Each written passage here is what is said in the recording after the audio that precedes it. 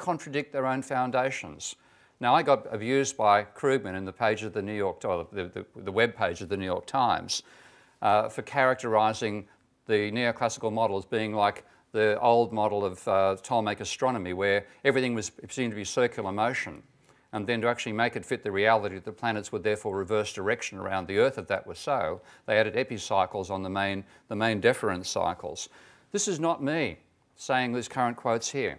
Have a guess who it is. The preferred model has a single agent optimizing over infinite time with perfect foresight, rational expectations, uh, flawlessly realizing through perfectly competitive forward-looking markets for goods and labour, blah, blah, blah.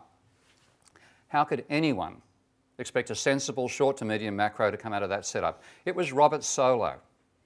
He's been screaming at these guys for a decade or more, saying what you've done is totally nonsensical. You can't do macroeconomics this way, and they've ignored him. It's not just me being put down by these guys, it's Robert Solow being ignored as well which is ironic given his role in the capital controversies. Though I will admit, at least he joined the debate.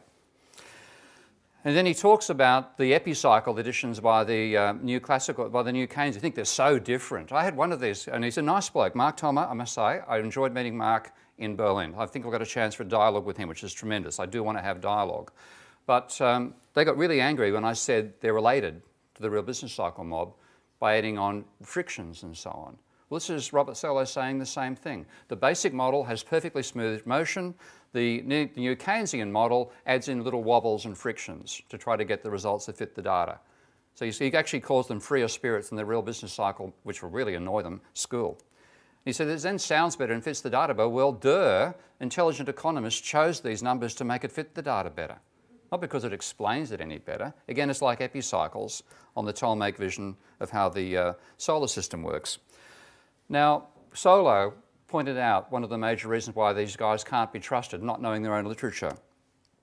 And he said they, they defend it by saying it's derived from general equilibrium, and therefore it's superior to models that don't have the street deep foundations and the deep structural parameters of the theory. And he said they call these DSGE models. I got, I got knocked for using exactly the same classification that, uh, that Solow did here. I find that very, very funny.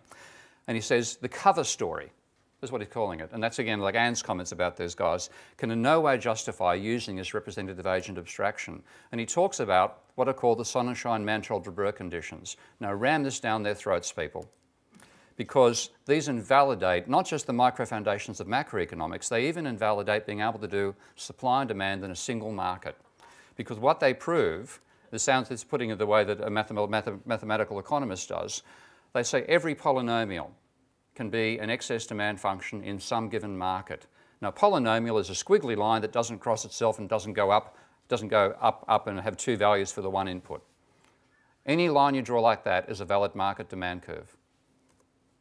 So market demand curves do not obey the law of demand and therefore there's no way you can treat a single market as being a blown up consumer. So if you add Crusoe to Robinson, and Robinson Crusoe to Friday, both of whom have neoclassical utility functions, that's the market demand curve you can get. You can't even do supply and demand analysis with that.